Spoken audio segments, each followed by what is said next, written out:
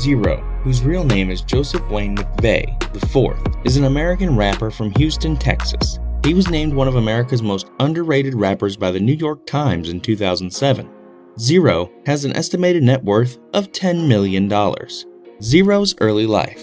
Z-Ro was born on January 19, 1977, in Houston's South Park neighborhood. When he was six, his mother died, and he was shuttled from household to household in search of stability, eventually settling in the Ridgemont area, a middle class neighborhood in southwest Houston, near the suburb of Missouri City. When Z-Ro reached his late teens, he was unemployed and resorted to drug dealing and hustling on the streets. According to Z-Ro, listening to the music of Tupac, Geto Boys, Bone Thugs and Harmony, Street Military, K-Rino, and Klondike Kat inspired him to work harder for his goal of leaving the streets. Fortunately, Z-Ro discovered his talent of freestyle rapping, and after going through a couple of recording studios to make a demo, the CEO of a local label discovered him and signed him.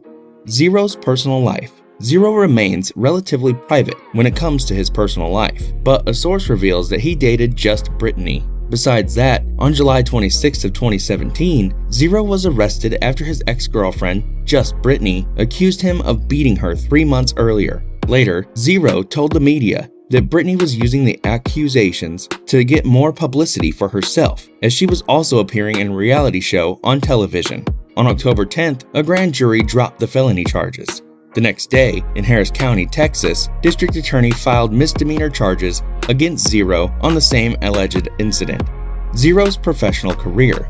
Z-Ro began his music career with his critically acclaimed Rap-A-Lot debut titled The Life of Joseph W. McVey. The record was a huge success and helped expand Z-Ro's fan base beyond the South. In 2005, Z-Ro released Let the Truth Be Told, which was well received. In 2006, Z-Ro's album I'm Still Livin' was released while he was in prison for drug possession. The album was called Great and Powerful, but relentlessly bleak by the Village Voice. In 2010, he released the album titled Heroin, which was followed by an album titled Meth in 2011, and later Angel Dust in 2012. On August 25, 2013, Z-Ro released his first EP under the Mo City Don titled Tripolar via One Deep Ent. Z-Ro then followed up The Crown in June 2014. In February 2015, Z-Ro released his first proper studio album in three years, titled Melting the Crown. In 2016, Z-Ro released Drinking and Driving and Legendary in November under his label One Deep Entertainment. In 2017, Z-Ro announced he was retiring and released No Love Boulevard in June as his final album. But later, Z-Ro came out of retirement of six months and released Codeine in December. In 2018, Z-Ro released Sadism under One Deep Entertainment and was distributed by Empire. Later, Z-Ro released an EP titled Quarantine the Social Distancing EP featured appearances of rapper Boosie Badazz, Slim Thug, Landlord, and late rapper Wicked Cricket.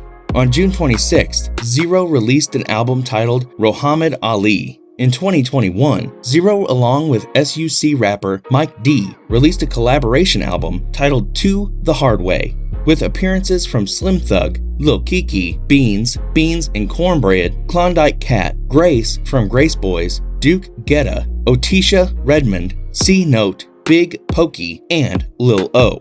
Besides that, in 2022, in a statement to XXL, Z-Ro claims Trae the Truth asked to talk to him outside a Houston restaurant before he allegedly punched him.